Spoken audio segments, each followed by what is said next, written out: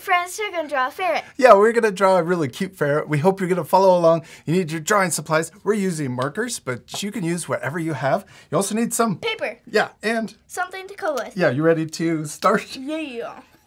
Let's first start by drawing our ferret's nose. We're going to draw a little V or U shape right here, and we're drawing it to the left of our paper so that we have room for the body. And ferrets kind of have long bodies. Yeah. Yeah. Then let's draw the top of the nose. We'll draw a little curve on top. And then we're going to draw the eyes. Let's draw a circle here and a circle over here that matches. Yeah.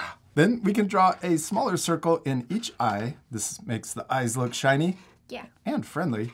and then we're going to color in the big circle, but leave that little circle white.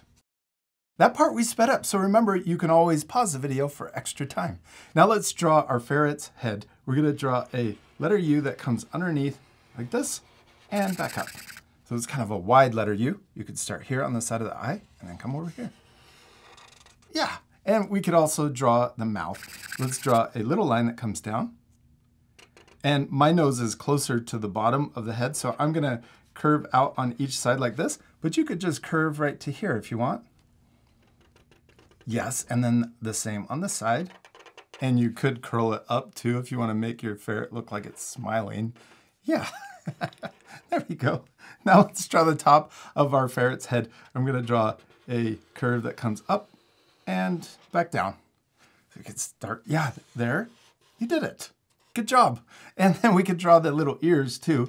I'm going to draw an upside down V on the left and also on the right. we could draw another smaller upside down V inside.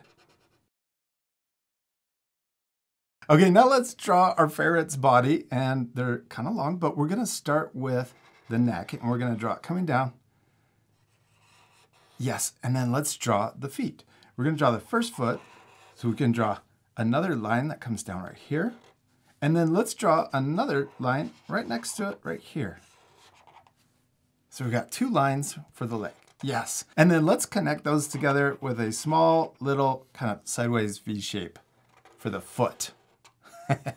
and then let's draw the other foot right next to it. We just draw it right here, close to it. This way we just draw part of the foot and it makes it a little easier and it looks 3D this foot is behind the other one. Yeah. Then we're going to draw the belly and we're going to imagine the neck going behind the leg and coming out to the side right here.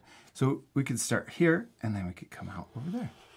Yes, and then we're going to draw the back leg and we're going to draw it right here. And maybe this one's a little bit bigger and bent. So we'll draw a curve. Yes, and then we're going to draw the foot and we're going to do the same kind of foot that we had right here. So it comes out sideways. Then let's draw the back. And we're also going to draw the neck too. So we'll start here and we're going to kind of draw, we want to draw so that it looks like it's kind of a long body. And we're going to come around like this and then we'll come back. So we're going to end right here so we can come down. Then we're going to come up, around, and then connect. Yeah, I love your little ferret. It's super cute. Thank you. Then we're going to draw the back of the leg. We're going to come down like this, and then we'll connect in. Yes, I like how you did that. That's perfect. And then we can draw the other leg behind here, just like we did for the front leg. So we're going to match the same little curve. Yes. And then we're going to draw the other foot I like how our little ferret looks like its buns are sticking up. and then do ferrets have short tails or long tails? Long. Long tails. Let's draw the little tail coming out right here. So I'm gonna draw it coming down like this and we'll have it coming around. So we can start right here and then we'll come around down. I'll do it long. Oh, I like how long you drew it. Then we're gonna draw the other part of the tail coming down like this. We're gonna come around and connect in. Yes, we did it! Olivia, we finished drawing our little ferret. It's super cute, except we're not completely done. We Still need color. Yes, but we are gonna fast forward, so remember you can pause the video to match our coloring at the very end. You ready to speed things up? Yeah, yeah.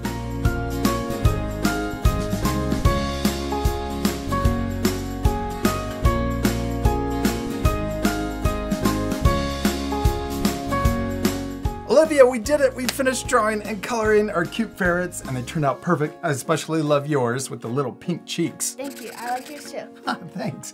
Now we used our markers to color with, but we also used color pencils on top, especially a brown on the back. Yeah, but you can use whatever you want like crayons. Yeah, you don't have to use the same markers that we used.